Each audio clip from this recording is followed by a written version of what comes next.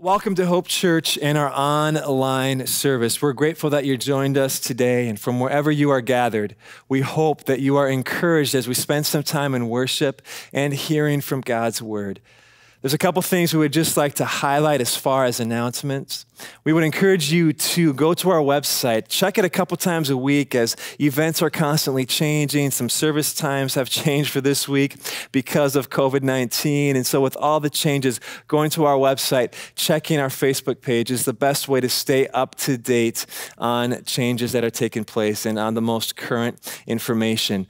Also, we're doing a little different format for our communion portion of our service. We have typically done it at the end of the message, but moving forward, we will be creating a separate video with for those who want to take part with uh, in communion. And so we'll be posting that on our website, and we will also be sending out an email with more information this week. And finally, please let us know how we can be praying for you. If you have a prayer request, you can email it to info at hopechurch churchmn.com. And we have a group of people who pray through those requests on a weekly basis. And so we'd, be lo- we'd love to be praying for you this week. Let us know how we can do that. And speaking of prayer, let's go to the Lord in prayer now. Father, we thank you for who you are. We thank you that you are a God uh, who remains the same yesterday, today, and forever. And Father, in the continual summer of 2020, this summer of uncertainty, the summer of difficulty for many people, Father, I pray that we would continually keep our eyes on you. And this morning, as we take time to gather together, to spend some time in worship, to hear from your word, I pray that our hearts would be encouraged. Father, we pray for those who are sick. Uh, we pray that you would bring healing to them. For those who are discouraged, may you, through your Holy Spirit, encourage them this morning. Thank you that you are faithful. Thank you that you are with us. And we lift up this time of worship and this time of hearing from your word to you. Come and be present among us. We pray all this in your name. Amen. Our call to worship comes from Psalm 84, verses 1 and 2, and verse 4. And God's word says this How lovely is your dwelling place, Lord Almighty! My soul yearns, even faints, for the courts of the Lord. My heart and my flesh cry out for the living God. Blessed are those who dwell in your house, they are ever praising you. Let's join together in singing our opening hymn, When I Survey the Wondrous Cross.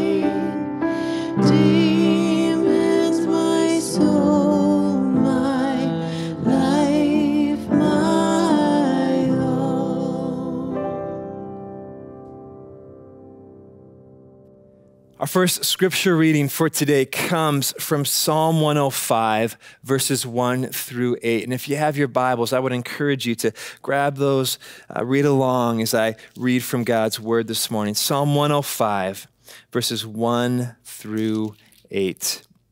I'll give thanks to the Lord, call upon his name. Make known his deeds among the peoples. Sing to him, sing praises to him, tell of all his wondrous works. Glory in his name. Let the hearts of those who seek the Lord rejoice. Seek the Lord in his strength. Seek his presence continually. Remember the wondrous works that he has done, his miracles and the judgments he uttered. O offspring of Abraham, his servant, children of Jacob, his chosen ones. He is the Lord our God. His judgments are in all the earth. He remembers his covenant forever, the word that he commanded for a thousand generations. Our gospel reading comes from the book of Matthew, chapter 13, verses 31 through 33, and then verses 44 through 52. Reading from Matthew 13. He, that is Jesus, put another parable before them, saying, The kingdom of heaven is like a grain of mustard seed that a man took and sowed in his field.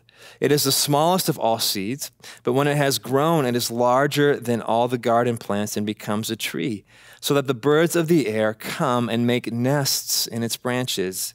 He told them another parable. The kingdom of heaven is like leaven that a woman took and hid in three measures of flour till it was all leavened. And then picking up in verse 44 the kingdom of heaven is like treasure hidden in a field, which a man found and covered up. Then in his joy he goes and sells all that he has and buys that field. Again, the kingdom of heaven is like a merchant in search of fine pearls, who on finding one pearl of great value went and sold all that he had and bought it.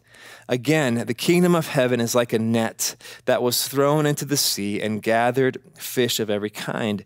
When it was full, men drew it ashore and sat down and sorted the good into containers, but threw away the bad. So it will be at the end of the age. The angels will come and come and, separate the evil from the righteous and throw them into the fiery furnace. In that place there will be weeping and gnashing of teeth. Have you understood all these things? They said to him, Yes. And he, Jesus, said to, him, to them, Therefore, every scribe who has been trained for the kingdom of heaven is like a master of a house who brings out of his treasure what is new and what is old. Here ends our scripture readings for today. And once again, we just want to say thank you to those who give of their tithes and offerings to support the ministry of Hope Lutheran Church. And you can give your tithes and your offerings online, or you can send them directly to the office here at Hope. And thank you for continuing to invest in God's kingdom through the giving of your offerings. As a church, we support different missionaries and ministries around the world and ministries that are also local here in the Twin Cities. And today we're going to hear from one of those ministries. It's a great ministry called Love Twin Cities, and we have a video we're going to watch to learn more about this great ministry.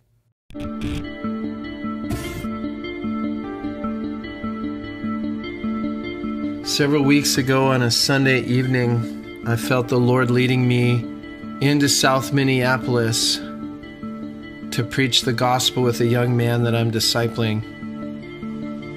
I had no idea that the next day would change the whole world.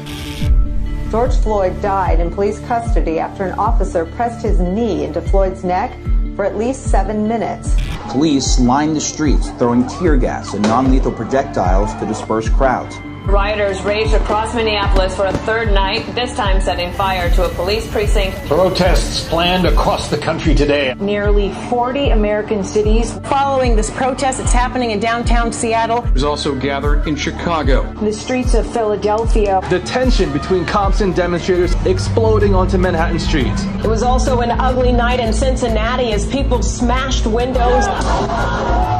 Looters destroyed store windows. In Denver, Colorado, a building was set on fire. In Georgia, the governor activated 500 National Guard troops. Santa Monica, California, hundreds were arrested. Killing one man last night in Detroit.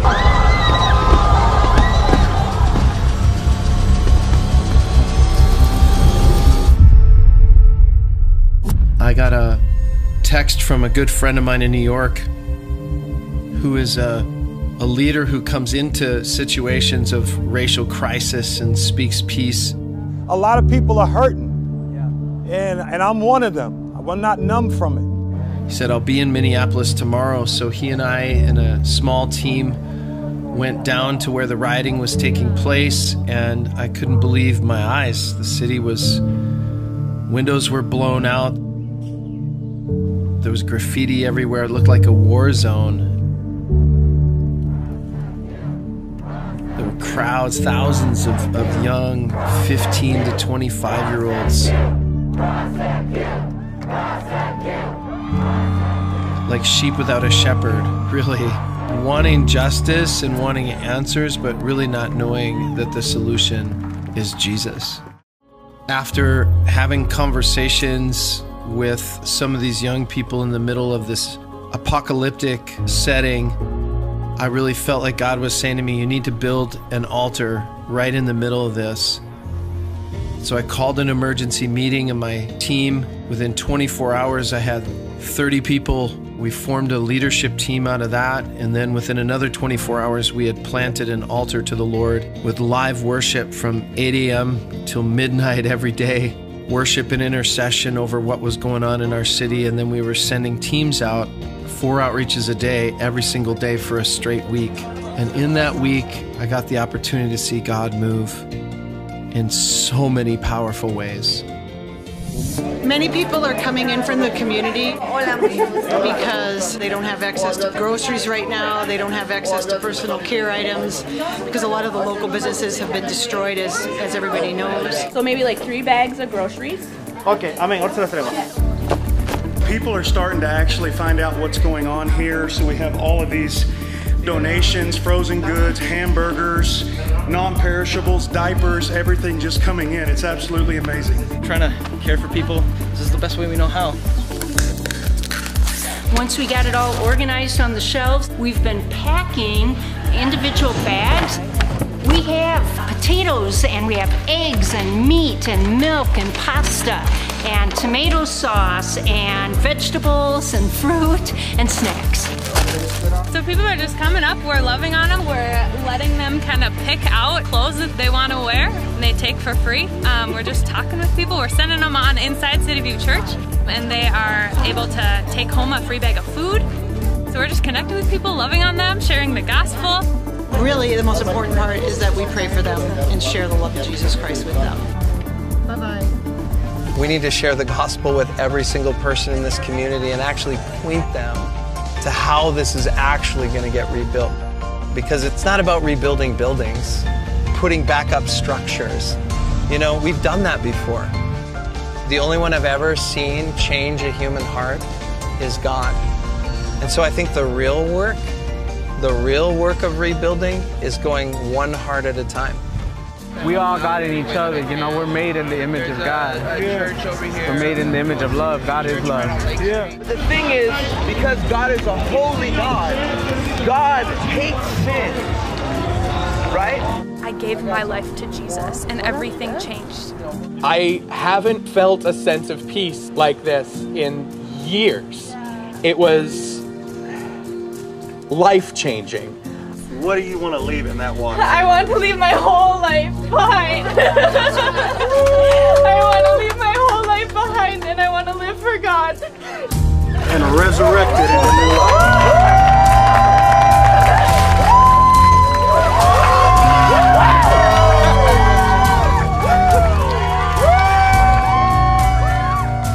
Jesus is the only answer.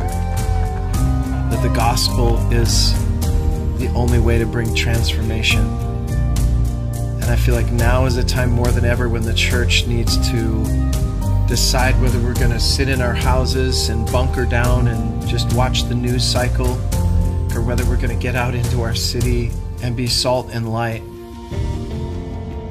We believe God wants to pour out His Spirit and bring an awakening not only to our city, but to our nation and to the nations of the earth we are asking you to pray about being part of God establishing a mission base right in the middle of where all of this started.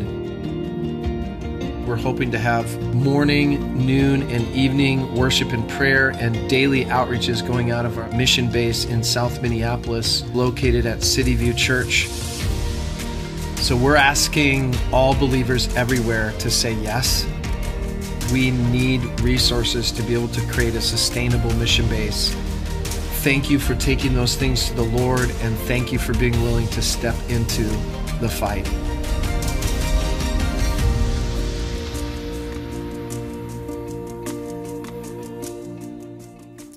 We are grateful for Love Twin Cities and the impact they are having around Minneapolis, St. Paul, and those communities. And we're grateful for the ways God is using them to share the gospel, to share the hope of Jesus with those who don't know Him. And please remember to keep Love Twin Cities in your prayers. And let's join together in prayer as we look at God's word today.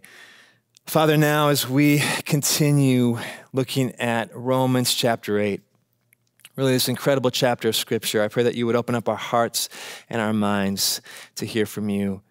Holy Spirit, I pray that we would be encouraged. Father, that we would see your grace, that we would see your love for us. So come and I pray the words that proceed from my mouth would truly give honor and glory to your name. In Jesus' name, amen.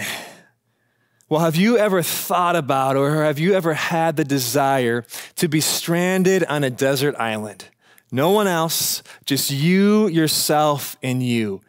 Now, for those who are introverts, you, you might welcome that thought. You don't like really being around people, and you're like, yeah, I'll go to a desert island at least for a little bit of time.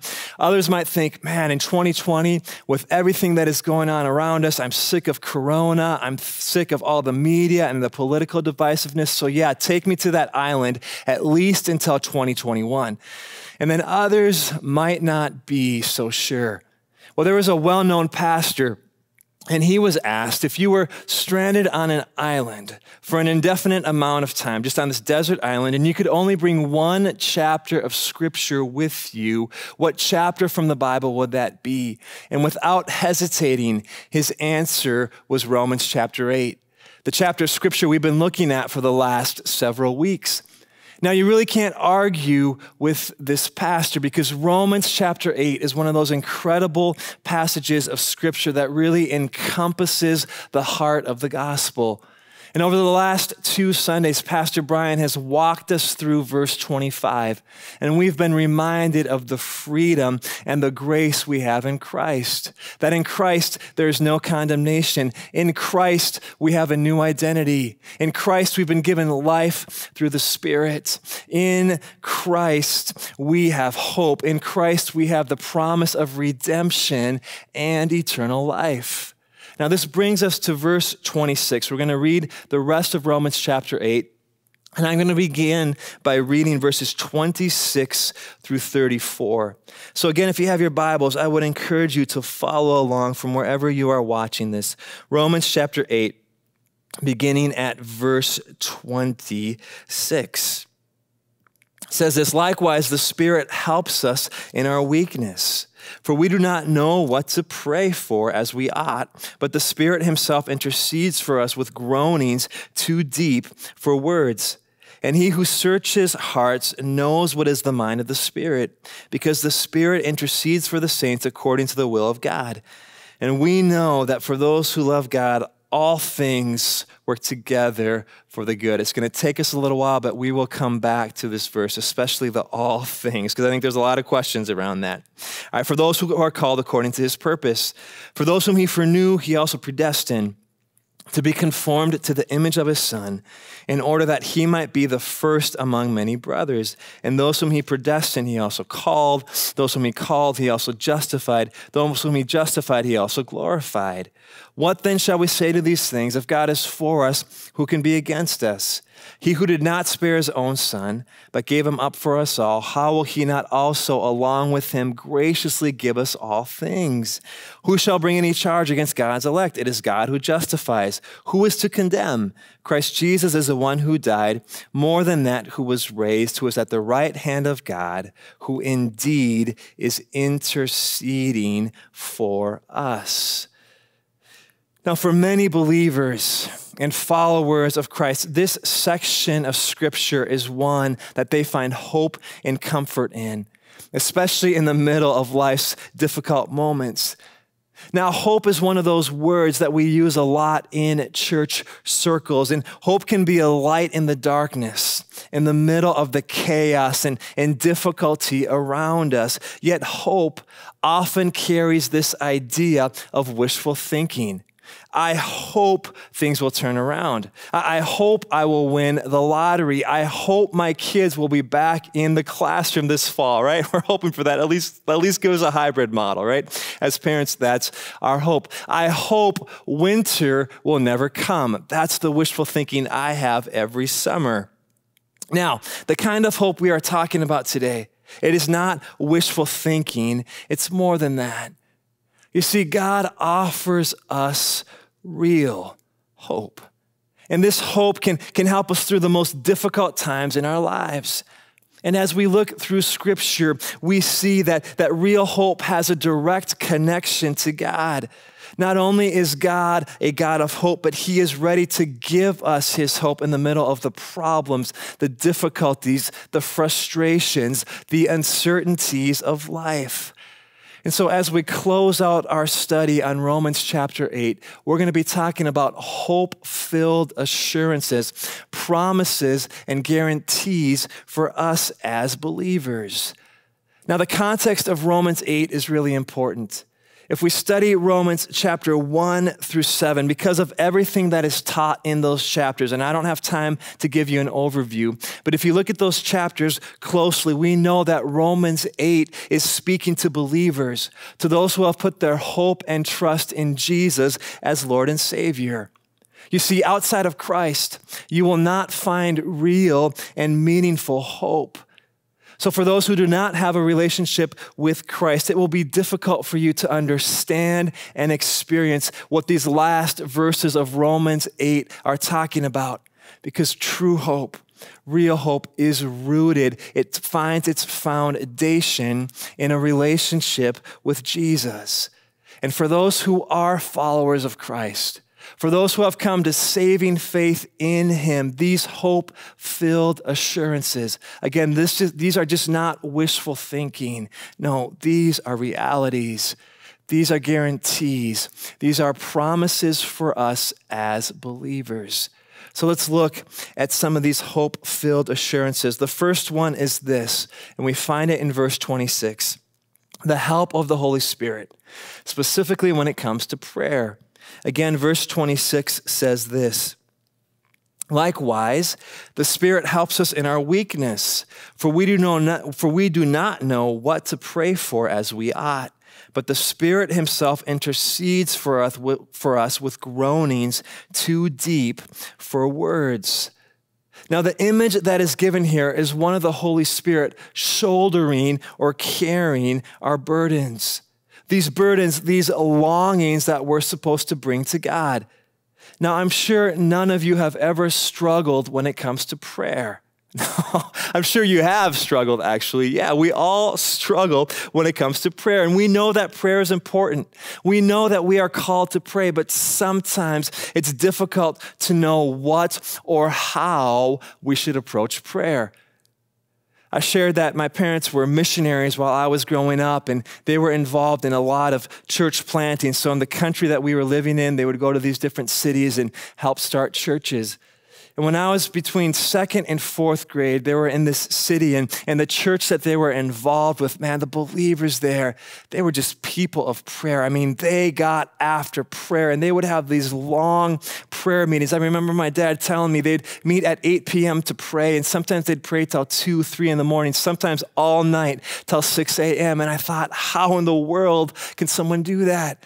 Have you ever wondered how a person can spend so much time in prayer? And sometimes when we pray, we know exactly what to say and what we want God to do.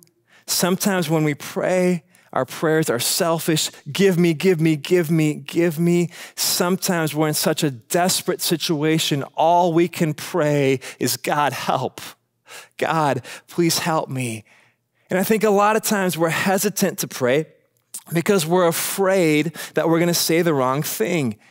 And we can so easily become discouraged when it comes to prayer. We don't know what to say. We don't know how to pray. We might think that we're going to say the wrong thing. So why bother praying? But the hope for you and me as followers of Jesus when it comes to prayer is that we are not left alone. I love this quote I came across in a commentary. And you'll see it on the screens. The frailty of our present condition hinders our prayer life. Yes, it does. Our mental horizons are severely limited compared to what God knows and wills, yet the Spirit intercedes. He prays within us, bringing our present longings to God. Now, not only does the Holy Spirit bring these longings to God, but He helps us pray according to God's will. We see that in verse 20, 27. Have you ever been in a situation in which you're like, God, I don't know what's best. I don't know what you want. I don't know what your will is. But you know what? The Holy Spirit does. And scripture says that He is interceding for us. So I believe the encouragement for us as a church from these verses is let's not let fear, let's not, let's not let the I don't know how, let's not let I'm going to make a mistake keep us from prayer. Again, we're not alone we have the help of the Holy Spirit. And because of that, we can come boldly before God's throne of grace. Because we have the help of the Holy Spirit, we can pray freely from our hearts, not worrying about making a mistake. That is the hope filled assurance we have that the Holy Spirit is beside us, helping us, encouraging us in prayer. And if I could just say this one thing, and I shared this a couple weeks ago when we were wrapping up Hebrews. I think as a church, in the season that we are in right now, in our nation, in our world, we are called to be people of prayer. Think now more than ever, we need to be on our knees, coming before God's throne of grace, asking Him to intervene in our nation, in our world, in our lives. And so we have a couple of prayer gatherings here at Hope, 9 a.m. and 7 p.m. on Wednesdays. I would encourage you to join us for that. If you're not able to join us during those times, please set aside some time during the week to come before God in prayer. It's what we are called to do. And we have the help of the Holy Spirit to help us as we come before God's throne of grace, bringing our longings, bringing our burdens to Him. Now, there's more hope, there's more promises for us as believers. I'm going to pick it up again in verse 28, our text. And we know that for those who love God, all things work together for good. I'm going to come back to that in a little bit. For those who are called according to his purpose. For those whom he foreknew, he also predestined to be conformed to the image of his son, in order that he might be the firstborn among many brothers. And those whom he predestined, he also called. And those whom he called, he also justified. Those whom he justified, he also glorified. Verse 31 What then shall we say to these things? If God is for us, who can be against us? He who did not spare his own son, but gave him up for us all, how will he not also with him graciously give us all things? Now, these verses are ones that bring great comfort and hope to believers, and they can also be easily misunderstood. So, I want to make a couple things clear here in these verses. First of all, there's a couple of big words foreknowledge, predestination, and those are topics that are easily debated, but we don't need to debate them this morning because foreknowledge and predestination speak to the plan of salvation God had in mind long before you and I were born. You see, God, in His grace and His mercy, He made a decision beforehand to send Christ to rescue, to redeem, and to save us as His people. That is the heart of the gospel message. So, the question people ask then around predestination is why are some saved and some not?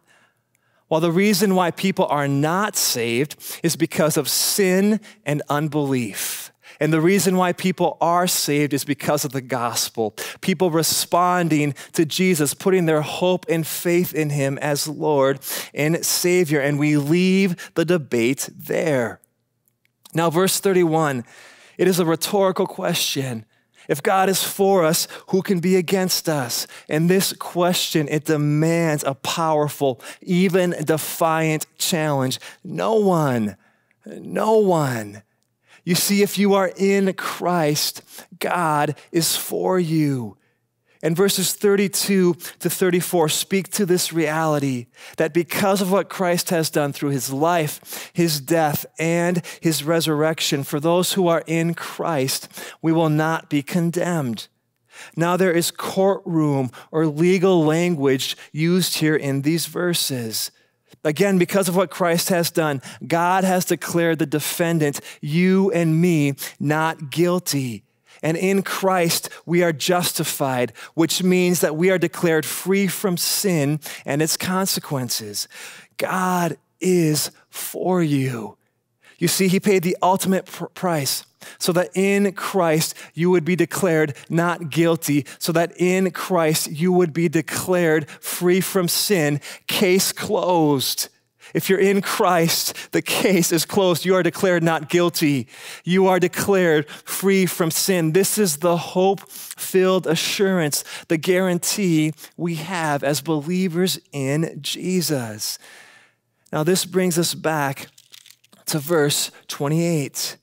It's a well known verse. It's what we call a coffee cup verse, right? It's on several coffee cups that you find around our nation. And here it is again. And we know that for those who love God, all things work together for good, for those who are called according to his purpose. Now, again, this verse is for believers, right? It says those who love God. And a better way to understand that phrase, those who love God, is those who have responded to the love which God has poured out into our hearts. It's those who have said yes to Jesus and are following him. Now it says, all things work together for good. And as I was studying this verse this week, I immediately thought 2020 specifically between middle of March until end of July, where we are now. All things work together for good. Think of all that has happened in our nation and our world between March and the end of July. And I don't know about you, but for me, sometimes it can be difficult to see some of the good that God is working together. And so we need to understand some important realities about Romans 8:28. First of all, this verse does not say that all things are good. No, not all things are good. They're not. This verse does not also does not imply that what happens in this fallen world that it all comes from the hand of God. So God is the one to blame for all the injustice, the suffering, the, the frustration, the difficulty, the hardship that we go through. No, we can't blame God for that. Hardship, difficulties, frustration, COVID 19, it's all a result of living in a sinful and fallen world. Yet, and it's a big yet, and here's the hope you and I have as believers.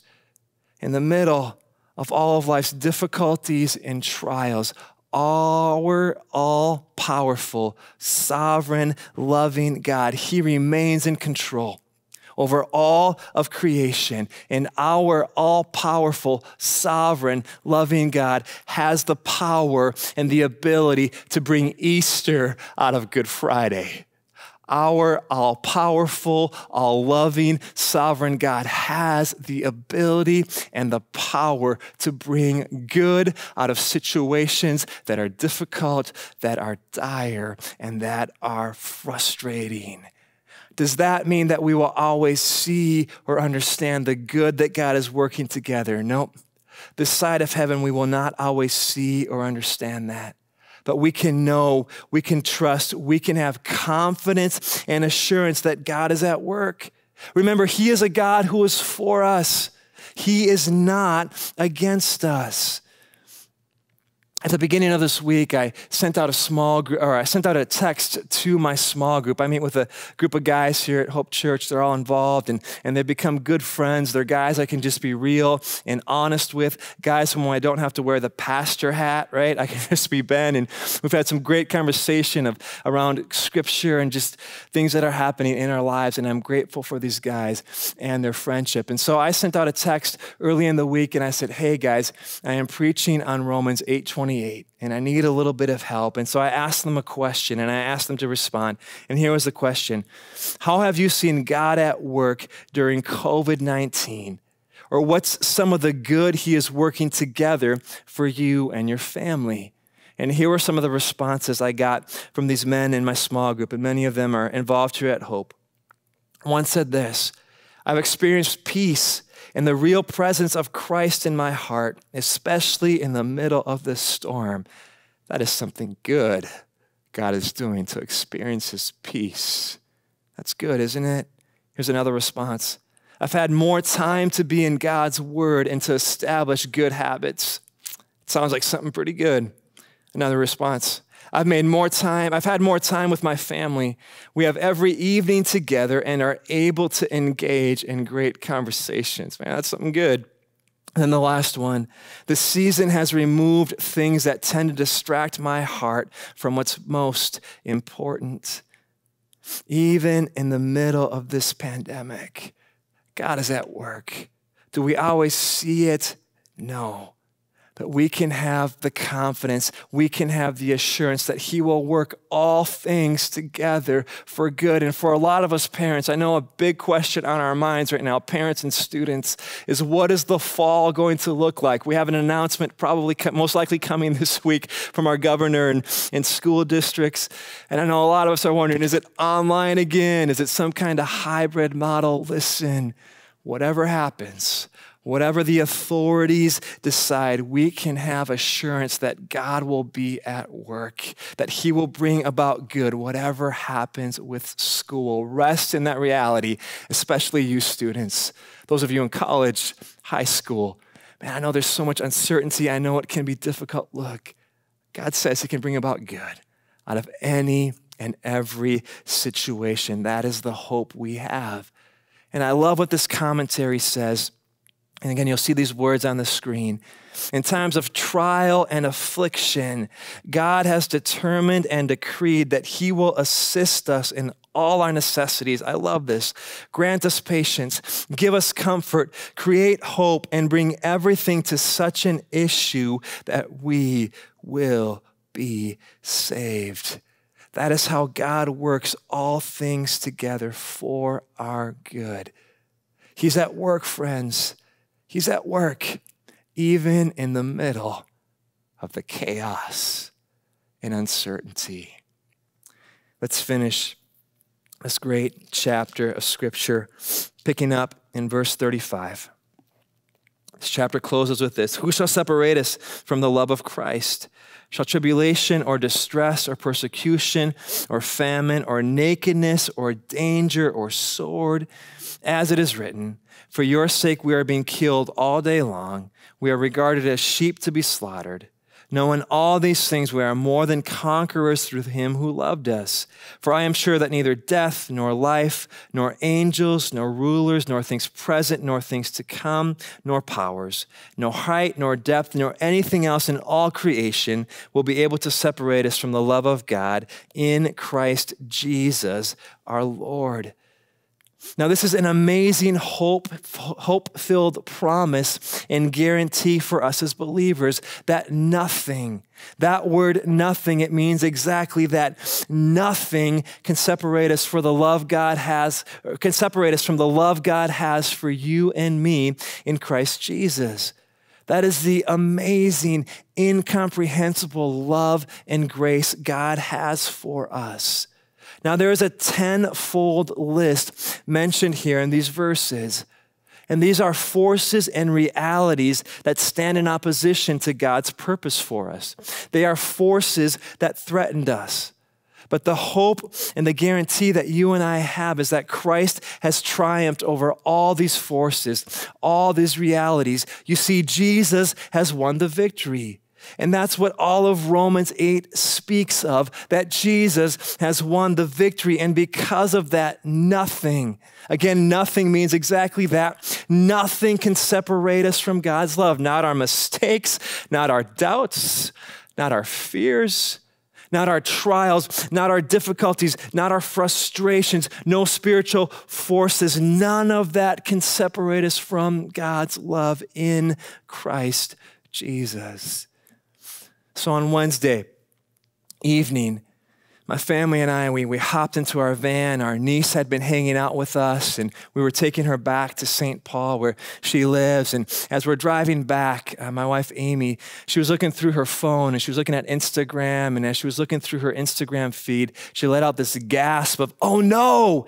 And I'm like, all right, what happened? More bad news. You're kind of used to it now in 2020, right? And what happened was is there's this couple we've known for many years, and they're a great couple. They, they love Jesus. They've been involved in a church, and they were part of a young adult ministry that I led years ago. They're in their late 20s, early 30s now, and their first child was born, a boy. He was born a little over a year ago.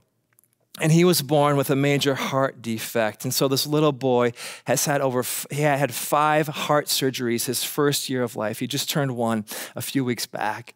He was in the ICU. I mean, he had complication after complication. He never left the hospital. He never got to go home with his parents. And, and then COVID came and it just kind of threw a wrench into everything. A few weeks back, he had his fifth operation and things were looking pretty good. But then a week ago, things turned for the worst, and this little boy, he went home to heaven to be with Jesus. And as Amy was reading through the CaringBridge site on Wednesday as we're driving over to St. Paul, I mean, all of what I just talked about, it was running through my head. I mean, how do you even pray for this couple right now and their family? Holy Spirit, you know, what about the good? God, I don't see it. I don't feel it. This, this couple doesn't feel it, but God, I'm, I'm trusting that you can work things for your good. And you know, the hope, the assurance that this young couple has is that no matter how much pain, difficulty, sorrow, anger, frustration they have to deal with in, in the weeks and the months ahead, the hope, the assurance they have, one, is that God is with them. He's walking alongside them, carrying and, and shouldering that burden and that pain for them. And they also have the assurance that because they're in Christ, nothing, no doubt, no fears, no frustration can separate them from the love God has for them. That is the hope. That is the assurance we have in Christ. And I love this summary of Romans chapter 8, and I want to close the message with this. Again, you'll see the words on the screen Christ's death, his resurrection, and exaltation at God's right hand guarantees our victory over anything and everything that would separate us from his love. When following Christ brings distress, we sometimes distance ourselves from him but Christ never draws back from us. Christ never draws back from us. That's the promise, that's the guarantee. That is the hope filled assurance you and I have as believers in Jesus. That if we're in Christ, He never draws back from us. I pray that we hold on to that truth, that we hold on to that promise as followers of Jesus. Let's pray. Father, I'm grateful for this wonderful chapter of Scripture that really encompasses the heart of the gospel message for each and every one of us. And Lord, I pray for those who may be watching this who do not have a relationship with you, who do not understand, who have not experienced the hope, these, these promises that are available for us in Christ, would you, through the power of the Holy Spirit in this moment, God, would you reveal yourself to them, who you are? And I pray that they would respond and say yes to Jesus and the grace, the mercy, the forgiveness, the life you offer each and every one of us. And Father, for those of us who are followers of you, God, would you help us? Help us when it comes to prayer. May we continue to be a people who, who boldly become, come before your throne of grace. God, help us to understand that in Christ the case is closed. We are declared not guilty. We are declared free from sin. May we rest in that reality. And God, show us the good. Help us to trust that you are at work in the middle of all the chaos, all the difficulties, all the frustration. Thank you for your love for us. Thank you that nothing can separate us from your love. Jesus, we love you. We thank you. And it's for your beautiful name that we pray. And all God's people said, Amen. Once again, thank you for joining us and for watching our online service. Again, if you have a prayer need, we would love to pray for you and just send your prayer request to us here at Hope Church. And I want to close by sharing these words from 2 Corinthians 13 11. Finally, brothers, rejoice aim for restoration, comfort one another, agree with one another, live in peace, and the God of love and peace will be with you. Amen. Let's join together in singing our closing hymn, Turn Your Eyes Upon Jesus.